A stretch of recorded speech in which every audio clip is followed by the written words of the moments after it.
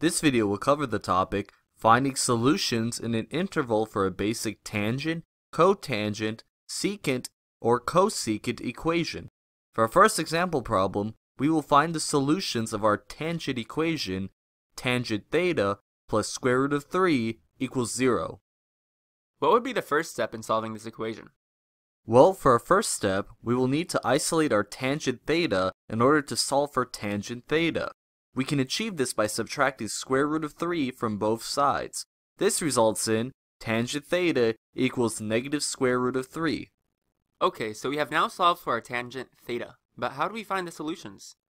Great question! To find the solutions for tangent theta equals negative square root of 3, we first need to identify which points on our unit circle result in negative square root of 3.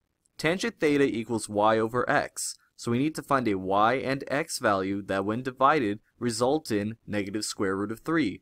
Look at our unit circle, we see that the coordinate points that result in negative 3 are negative 1 half comma square root of 3 over 2 and 1 half comma negative square root of 3 over 2. When we substitute these coordinate points into y over x, our result for both is negative square root of 3. This means that our solution for our original problem can be found at these points. Now that we have identified our coordinate points, we need to look back in order to look at the corresponding radian terms for our coordinate points. Our corresponding radian terms are 2 pi over 3 and 5 pi over 3.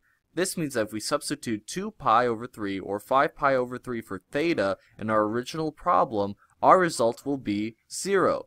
Thus our final answer for this problem is theta is equal to 2 pi over 3 and 5 pi over 3.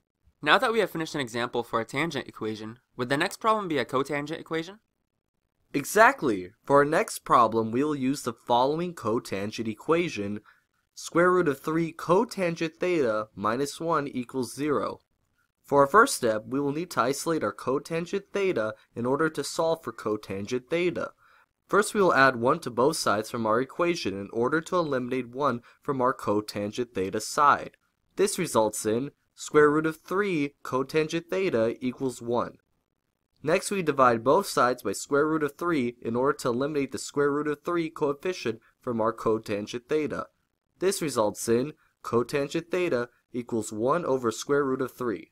Now that we have isolated our cotangent theta, we now go back to our unit circle in order to identify which points on our unit circle result in 1 over square root of 3. Cotangent theta is equal to x over y, so we need to find a x and y value that when divided results in 1 over square root of 3. Looking at our unit circle, we see that the values of 1 half comma square root of 3 over 2 and negative 1 half comma negative square root of 3 over 2 result in an x over y value of 1 over square root of 3. Now that we have found our coordinate values, we need to find the corresponding radian terms of our coordinate values. Looking at our unit circle, our corresponding radian values are pi over 3 and 4 pi over 3. This means that if we substitute pi over 3 or 4 pi over 3 into our original problem, our result would be 0. Thus our final answer is theta is equal to pi over 3 and 4 pi over 3. Can we now work on a secant equation? Of course, let's use the following secant equation for our example problem. Secant theta minus square root of 2 equals 0. For our first step, we will add square root of 2 to both sides of our equation in order to isolate our secant theta. This results in secant theta equals square root of 2. Secant is equal to 1 over x.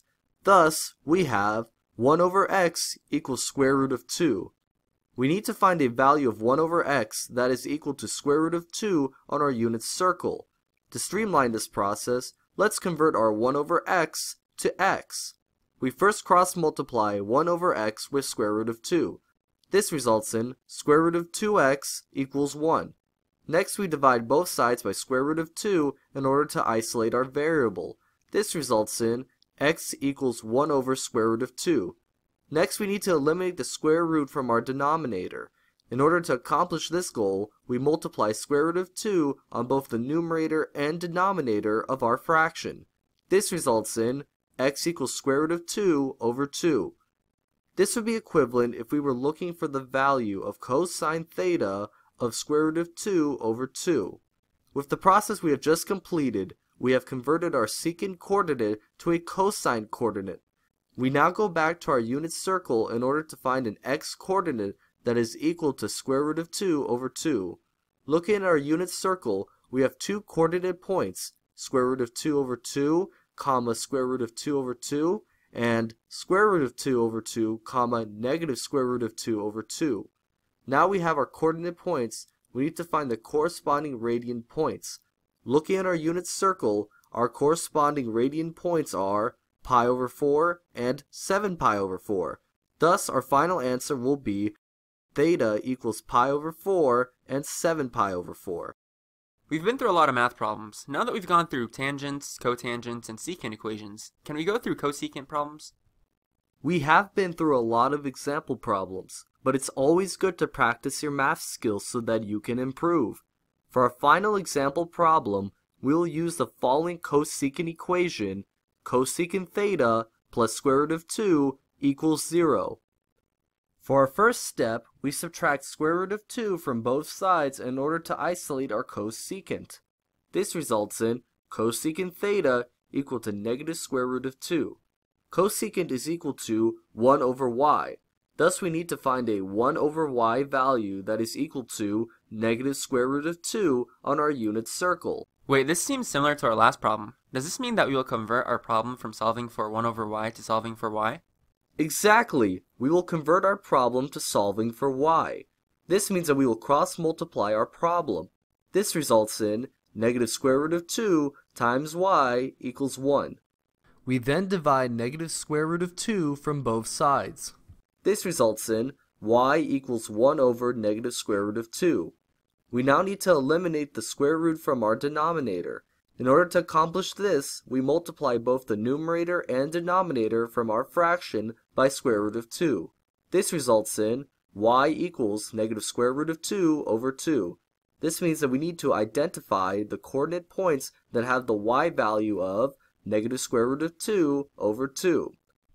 This would be equivalent to if we were looking for the value of sine theta equals negative square root of 2 over 2. Looking at our unit circle, the coordinate points that contain a y value of negative square root of 2 over 2 are negative square root of 2 over 2 comma negative square root of 2 over 2 and square root of 2 over 2 comma negative square root of 2 over 2. Now that we have our coordinate points, we need to find the corresponding radian values. Look in our unit circle again. Our corresponding radian values are 5 pi over 4 and 7 pi over 4. Thus our final answer is theta is equal to 5 pi over 4 and 7 pi over 4. I think I'm starting to understand how to find the solutions to these problems. First, we need to isolate our tangent, cotangent, secant, or cosecant value. Once those are isolated, we then need to find the coordinate values that match what our equation is equal to. Once we find those coordinate points, we need to find the radian values that correspond to the coordinate values that we found.